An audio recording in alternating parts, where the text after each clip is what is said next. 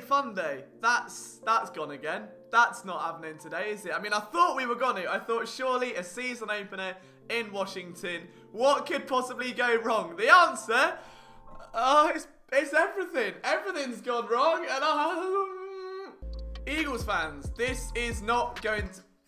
What is that? Even that's fucking me off now. What is that? What is that? What is that budget music playing? Get it off. Get it off now. Where's it? What is that?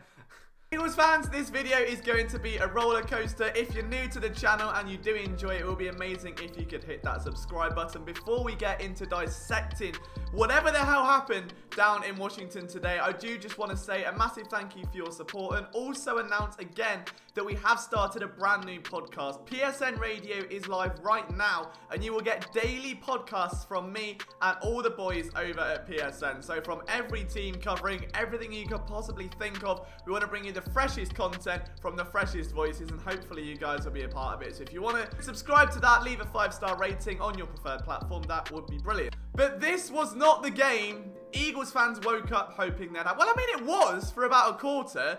And then it, it just wasn't. Eagles got out to a 10-0 lead. In fact, they got out to a 17-0 lead. Jalen Reagor caught a 55-yard bomb. Carson Wentz had confidence. The offensive line handling business. And then, then things got weird. The running game wasn't working as it usually does. Obviously, no Miles Sanders there, and the offensive line was made up of a set of bagels, which obviously proved problematic when going up against a line of basic first round picks. Guys like Daron Payne, guys like Chase Young, and obviously Montez Sweat. So, what we saw was Washington eventually come back, and then come back, and then come back, and then win by quite some margin. In fact, the Eagles choked a 17-0 lead and lost 27-17. And the main reason for it, I'm honestly putting it on the head coach. And you can look at Carson Wentz and you can look at the offensive line all you want. But the basic fact of the matter is this.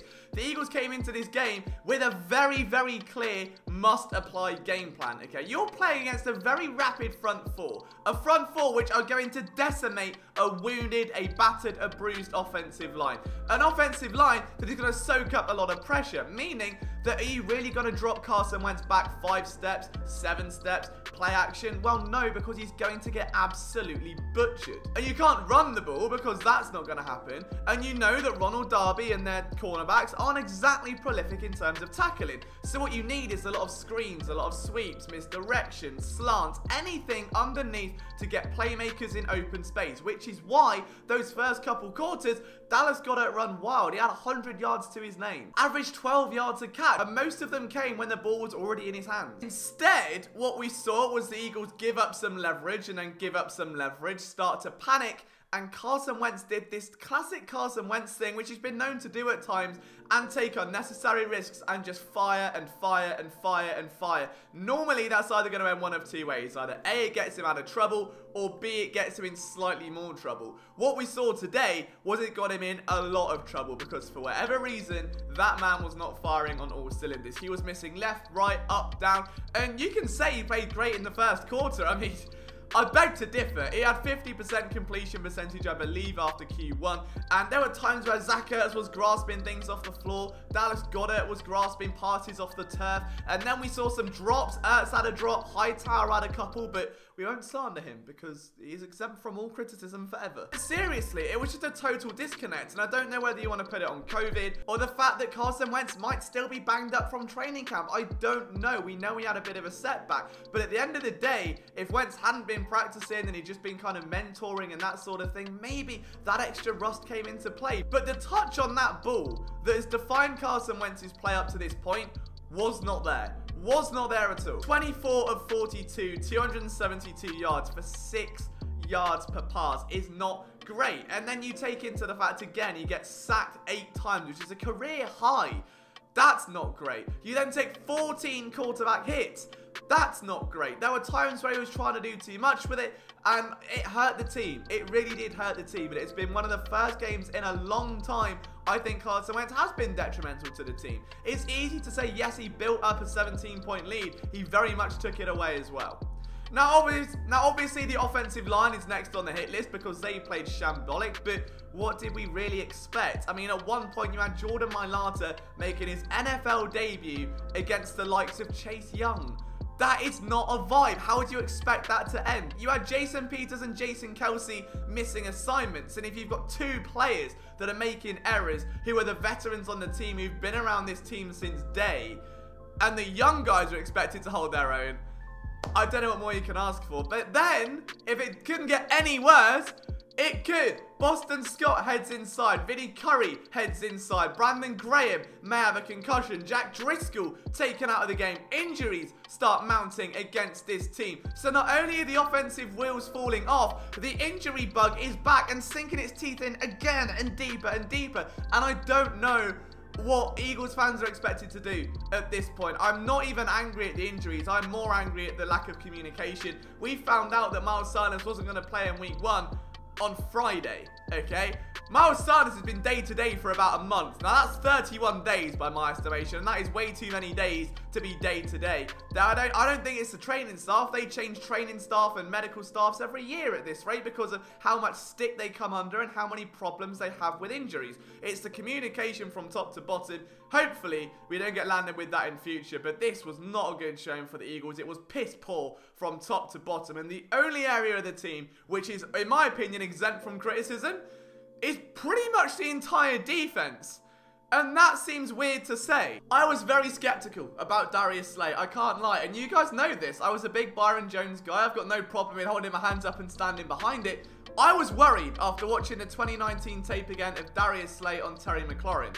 He held Terry McLaurin to 61 yards, kept him out of the end zone, something the Eagles failed to do on, well, they failed to keep him under 100 yards on both of their last two games, so that's already a big improvement. Avonte Maddox played his ass off. He was all over the field. I was very impressed with him. Nickell Robey-Coleman had a couple of big plays. I was absolutely besotted with what we saw from Rodney McLeod. I thought he had the game, one of the best games I've seen in a long time. In a relatively new role as well. He was still playing inside a fair amount. But the guy ended up with eight tackles, a pass defense. He was on fire. And one of the main people keeping the Eagles within chance of not choking this league away. Just buying them something, anything at that point. And then you talk about linebackers.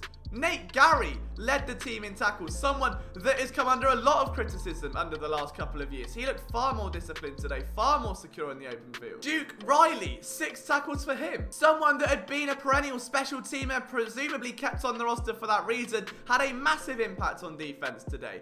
And when you go further forward, T.Y. McGill, elevated from the practice squad, goes in, makes an absolute brilliant account of himself, makes an absolutely brilliant account of himself, bringing down his first career sack with the help of Vinny Curry. Malik Jackson, what we saw from him in that first quarter was unbelievable. He sort of tallied off after that, but that first quarter of Malik Jackson was borderline OnlyFans content. The defense, and I can't believe I'm saying this, was not the problem. And I really want to dive into the defensive tape. Like Marcus Epps even on special teams had a whale of a game outside of one penalty. But the rest of them, he was absolutely brilliant. Jake Elliott kicked the length of the field on a kickoff. Cam Johnston had a good day at the office. The only area of the team that let the side down was the team that put up the 17 point lead to begin with, and the Eagles couldn't get out of their own way, and the game plan didn't change. And I don't get why Doug Pederson is running play action after play action after seven step drop, and Carson Wentz is slinging it and misfiring and slinging it and misfiring. I just don't get it. I really don't understand. If you know